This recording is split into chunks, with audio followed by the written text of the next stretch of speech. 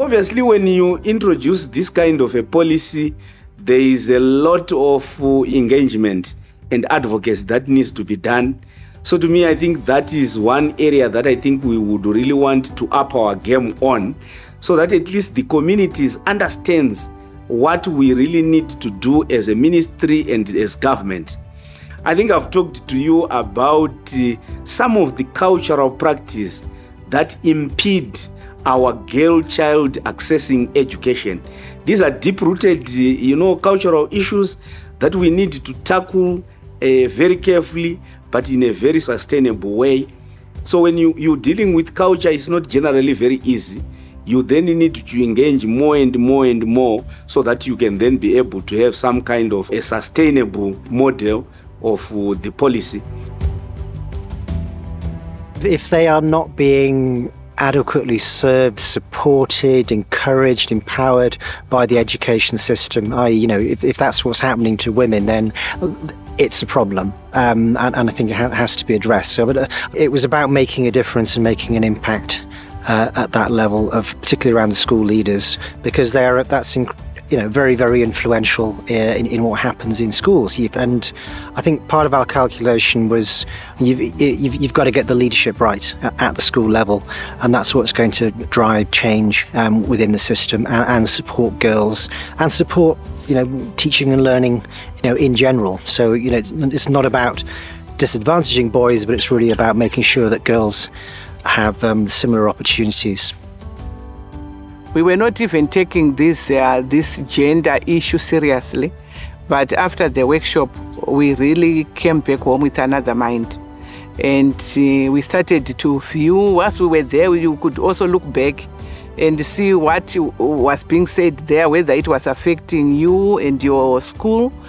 We learned a lot concerning what instructional leaders, as leaders, uh, what we're expected to do, our duties to promote gender sensitivity and even to influence change in our organizations.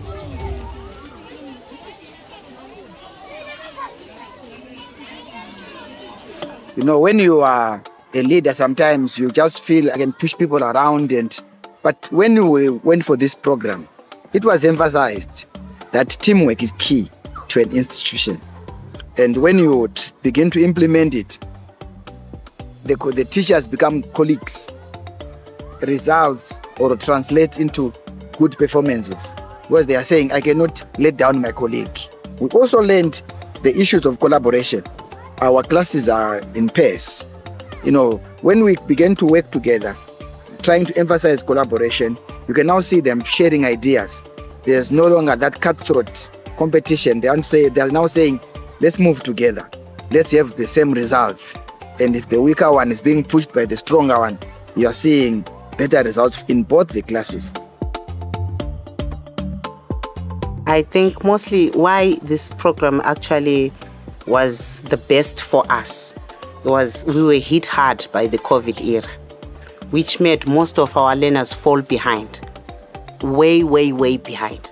Because if we were to take our current grade sixes, they skipped two full years of learning. So we undertook a, a reading program because we had a challenge with some of our grade threes and in the infants. They were really um, not literate enough. I mean, basically, we're saying a school learners must be able to write the ability to read. That's why we came up with this particular program to say let's eradicate non readership in our school. Just imagine if you can get all learners in grade one and grade two reading and they proceed to grade three as perfect and readers who can comprehend and can answer, there is no way you can have a, a, a 0% at grade 7 level. Once I'm working, making stitch, others will be making baking stitch using a hand needle. Are we together? Yes. Yeah. Previously, we used to talk about gender issues for so many times, but really we never implemented things. It is only now, uh, after this program, we were transformed to see things differently in such a way that uh, it is helping us in the classroom. It is motivating, especially learners. we have uh, realized girl children, they can even do things we thought boy children could do, they could do it them better. In the classroom, we observed when we do lesson supervisions that girls, they, at times, they are inferior to raise up their hands. And yet they will have the correct answer. They will believe that only boys can do that, or so and so will do that. Now, proficient teaching will require you to get deeper into learners and probe questions further. So we are still we are inculcating this in our teaching staff, and some of them are adapting to it very well, showing inclusivity, which is a major, major, major important uh, role of us because it actually improves the teaching and learning process. I, I think uh, as you approached the school, you, you, you saw the environment. That's an impact through the program. It has changed from where it was to where it is today. That's number one.